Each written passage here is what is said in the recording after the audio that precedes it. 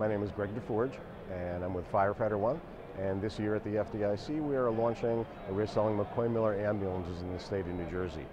One of the new features we have to show is how we store backboards. Traditionally in a standard ambulance, they're stored in a taller compartment near the rear. With this new design with the InTrack system, which we'll show, we store the backboards in a transverse compartment across the vehicle. Number one, it's safer, and it's also out of the way. To continue our discussion about the features and the benefits of the McCoy Miller ambulance, this is basically what's called the Ferno Washington InTrack system. The InTrack system within the McCoy Miller is meant to be able to give you the same storage capabilities that you have in an ambulance or traditional ambulance with wooden aluminum cabinetry. But these are soft-sided cases. It gives you a number of options. The units actually pull out. Um, they can be used for storage. You can put whatever you need in them and label each one individually.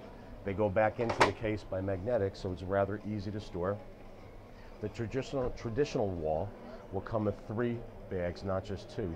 So in the state of New Jersey, and most states we've been in, we can get the medical equipment complement as required by each Department of Health without any problem. As you can see from the vehicle itself, the interior width is much wider than a normal ambulance. It's much safer.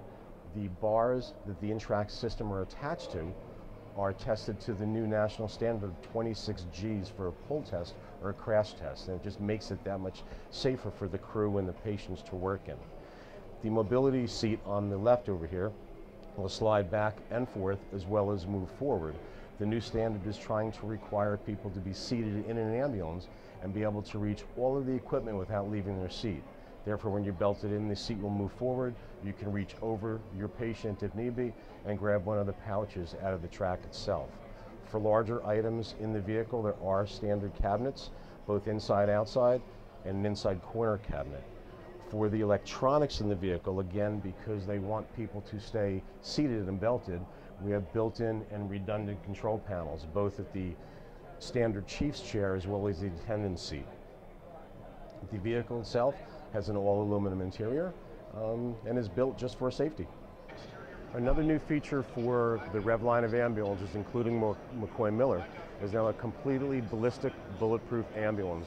We have run flat tires, we have ballistic material, Kevlar, in both the floor, the ceiling, and all four sidewalls, and we also have ballistic glass. The unit is a level 3A um, ballistic protection and can take rounds from a 45, a 40, or a 9 millimeter.